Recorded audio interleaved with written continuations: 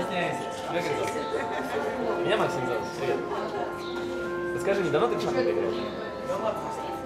Я начала с 8. И у тебя успехи? Получается? Да. Я выиграла на полуфинале первенства.